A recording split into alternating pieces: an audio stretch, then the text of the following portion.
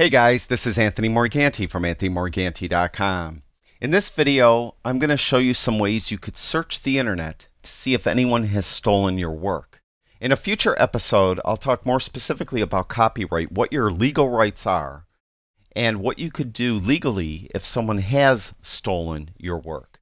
Now, the first thing you could do and the easiest thing you could do is go to Google and search your name. I've often found that many times websites will quote borrow my images for their website, but they give me credit. They put my name there somewhere. So if you go to Google and search your name, you might find a website that did that. Recently, I searched my name on Google and I found this website, cooldigital.photography. And it brought me back to this web page and it's headlined 51 beautiful examples of black and white landscape photography. And as I page through the site, you can see there's image after image of these beautiful black and white landscape images. And as I approach the bottom, the second last image is mine. And you can see they gave me credit. There's my name. They wrote a little copyright in front of it. And the image source, which is kind of a bonus, is they got it from my 500px. So it's clickable. People could click that and go back and see that image along with some other images on, of mine on 500px. Now, it's up to you whether you want to do anything about this. A lot of people don't mind a website borrowing their image for this type of purpose, meaning it's just showing off beautiful black and white photography and they're including your image and they are giving you credit and they are linking back to you some way. Now, it's up to you whether or not that is good or bad for you. A lot of people just like the exposure, and I use exposure, I'll put some air quotes because you hear that all the time. You know, I can't pay you for your image, but you'll get great exposure. Um, usually, I'll encourage everyone to not go for that route. You don't, you'd rather get paid. And when someone is more of established professional, they prefer not ever having their image used for free. They don't care about the exposure. So search your name. You got to find out if your image is out there. And a lot of times these websites will, quote again, borrow your image and give you credit by having your name there and maybe a link back to you. And it's good that you should know this. Whether or not you want to do anything about it is up to you. So do that. Now, an easier way to search your name is to set up what Google calls an alert, a Google alert. And you can see I have two alerts. One is for my name and one is for my website. That way I don't have to periodically go to Google and search my name. What an alert does is that as Google crawls the internet, if it finds the search term I designated, it will email me and it will tell me the link back to where that search term was found. So I am searching, as you can see, my name and my website URL. That way, if anyone writes about me and they have my name there, I'll, Google will alert me by sending me an email with a link back to that uh, web page that used my name. Also, if someone lists my website anywhere, I will get that link back as well. Now, if you do put your name on here, I strongly suggest that you use quotation marks around your name like I do here. If I didn't have quotation marks, what it will do is you'll get results back whenever, in my case, Anthony and Morganti are used on the web page, but not necessarily in the order Anthony Morganti. Meaning, let's say there's a website and it's showing the graduates of, you know, uh, you know 2016 graduates for some high school or something like that. And it had Anthony Anderson as a graduate and Pamela Morganti as another graduate further down the page. I would probably get an alert if I didn't have the quotation marks on it because it found Anthony on that web page and it found Morganti on that web page and it would send me that alert. So if you have the quotation marks, it has to be this exact term, exactly like that. So set up a Google alert for your name and again, I'll have in the description below this video, I'll have links so you could find this stuff and easily set these things up. It's very easy to set up an alert. You could have Google email you as soon as it finds it, or maybe email you once a day at a specific time, or email you once a week on a specific day, or maybe just get a digest of these things together as many times as it finds it, and then send you one email with multiple instances of it being found. So maybe you get a, a digest once a week of every time it, it's found your name somewhere on the internet. So the Google Alerts are again pretty powerful tool that a lot of people don't utilize, I think, enough. So check that out. The other thing you could do is you could do what is often called a reverse image search. You could do it with Google. You could do it with at least two other companies I know of. You just do a Google search for reverse image search, and you'll find other websites that allow you to do it. I'm going to show you how to do it with Google. Just go to google.com, and then in the right hand corner, you'll see images. Click on images, and you'll see you've got this now Google Images. Click on this little camera, and you could see you could search two different ways. You could search by the image URL, or you could actually upload an image to Google. Google. Now I'm going to show you both ways. We're going to go to my website, and you can see I have this little picture of me. So I'm going to right click on this, and I'm going to copy the image address. So it copied the URL of that image to the clipboard of my computer. I'm going to go back to Google Images. I'm going to paste the image URL right here by right clicking and clicking on paste. So there is the URL of that little picture of me. And we're going to search by the image. And what it does, it just searches for the image and it found it on my YouTube, it found it on my website. And you can see it find every instance that it finds that image, it will return uh, a list back to you. And you could click on it and go to the website where it's found.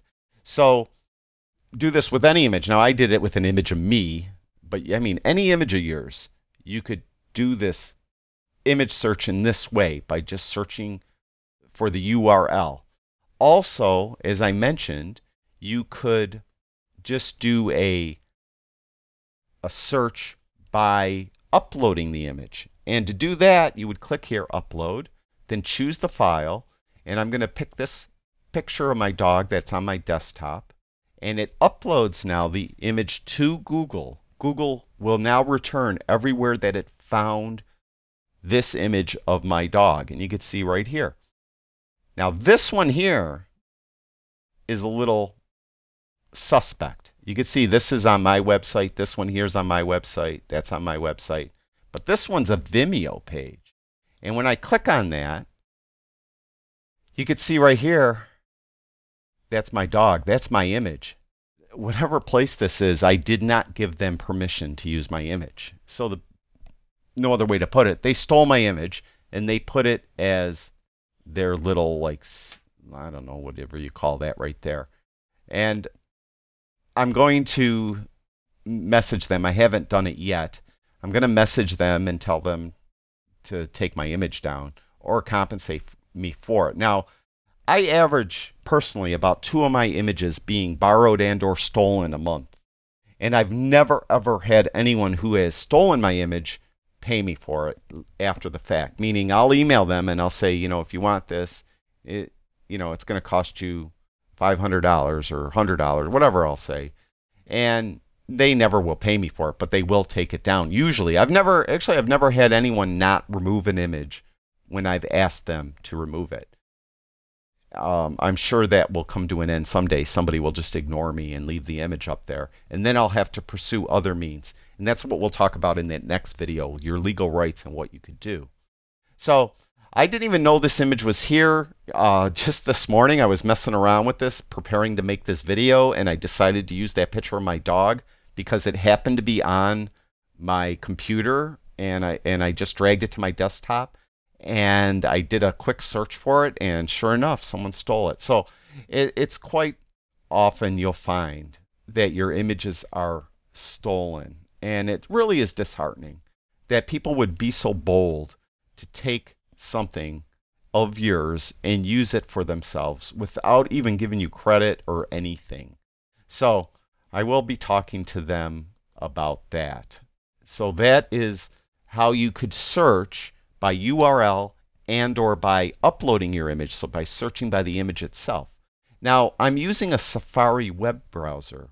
If you're using either a Chrome web, browser or Firefox, you could search a lot easier for an image. And over here I have a Chrome web browser and I have it open to my Facebook. And on my Facebook I have this image that I uploaded just a couple months ago. And again, if you have Chrome or Firefox and I want to search for this image, just right click on the image and go down to search Google for image. And then it will do a really quick search for the image and it found visually similar images. And then below it, of course, it found my image multiple times. And most of them are stuff I'm responsible for, meaning my YouTube, my website. Um, but it is on Pinterest a lot. It got shared on Pinterest a lot, which I don't really mind. That's not a big deal to me. So again, it's a lot easier to search by an image if you use a Chrome or a Firefox web browser. So check that out. That's really cool. Now, the last thing I want to talk to you is a paid service. And I have done videos in the past on this. This is uh, digitally watermarking your image. And the company I use is Digimarc. There's, I think, two companies that I know of that do this. And I am not affiliated with Digimarc in any way. They are not paying me at all but I do use them and I do digitally watermark my images when I put them on various social websites such as Facebook, uh, Twitter, uh, places like that. What a digital watermark is, is it's imperceptible usually to the human eye. But Digimarc has technology where they crawl the web similar to the way Google does, and it will find your image because you have the digital watermark on it, it will find it and then it will report back to you that it found your image, similar to the way Google Image Search does or a Google Alert does. Now, the disadvantage is, again, it's a paid service. And they have three different service levels basic, professional, enterprise. And when I did those videos, the prices were a touch cheaper the basic level, I believe, was 49 back then, and the professional level was 99. Now it's 59 and 119. And there's an enterprise level, and you have to get a quote for them. You tell them how many people would be using it and stuff like that. But I use the professional level. And I'm going to show you this image here. And you another thing you do is, is you have to apply this watermark with Photoshop. It's a plugin for Photoshop and you would load your image into Photoshop and you would go up to filter, down to Digimarc, and then embed a watermark. Now you can see right here it also has read watermark. I already watermarked this image. And I don't I would I would venture to guess that you can't see it. And what it does, it just goes right on the pixel level of the image and it just changes the tonality of the pixels slightly in such a way that a computer could see that it has been digitally watermarked. And it will be like, um, it will have your Digimarc account number on there so it knows it's your image. And again, so I could go to filter, Digimarc, read watermark, and you could see it read the watermark and, and the strength of the watermark is somewhere between medium and high in this case. So it's very easy to watermark an image then what you would do is you would go to the Digimarc website periodically and you would log in and you would go to reporting and you could search for your your image, search if any images were found. And I'm going to go last 60 days because I know some were found a couple months ago. And I'm going to run the report. And you can see it found two of my images. And this website, Totally Buffalo, used my, my images. And you could click on it. It will link you back to their website where your images are.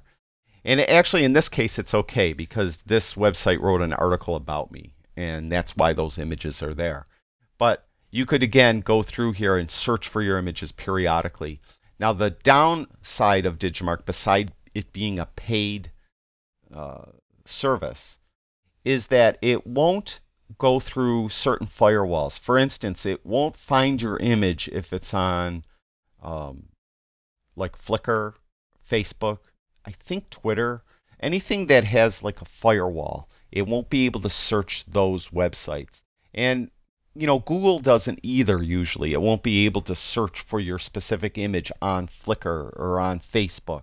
So that is a downfall. So somebody could steal an image and post it all over Facebook, and you won't be able to find it using Google or uh, or anyone. So there is some shortcomings to finding your images in these certain manners. Now, what I would love Google to do is to set up a Google alert for an image, meaning, you know, how we could upload an image to Google and do a search for the image that way. I would love for them to have an alert where we could upload an image. So if Google, if you're listening, we'd love to upload our images to you. And if you ever find them anywhere, you let us know. That would be great. Then we don't need Digimarc and we don't need companies to do these digital watermarks or these paid services. But you know, this gets you started. Start searching around, see if you could find your images anywhere. Uh, there's four different methods there. Search for your name, and along with that, you know, set up a Google alert when you search for your name. That's one method. The second method is to search by the URL of the image. The third method is search by the actual image itself by uploading it to Google. And the fourth way is to use a digital uh, watermarking service like Digimarc to apply a digital watermark to the image and have them search for your image and see if you find it anywhere that way. So uh, the next video, which will be a, well, at least a few weeks away, I want to consult with a lawyer first to make sure that I'm not telling you something that isn't true. So it might be a month or so away. It will be specifically about copyright, how to get a copyright, what a copyright means, when you actually get a copyright. And most people don't realize it that as soon as you create the image and you put it out there, you do have a copyright on it. You don't necessarily have to register it with a government like the US government, US Copyright Office, to own the copyright of your own image. It does give you some advantages if you do register the work with the agency, or in my case, it would be the US Copyright Office. And if I do it within a certain length of time after the image is created, it gives you quite a bit of um, protection uh, that we'll talk about in that video. Use these four ideas I gave you now. See if you can find your images anywhere. And um, hopefully it won't be too long till I get to the second video and we'll go from there. Thank you, everyone that watches my videos. I truly do appreciate it. I'll talk to you guys soon.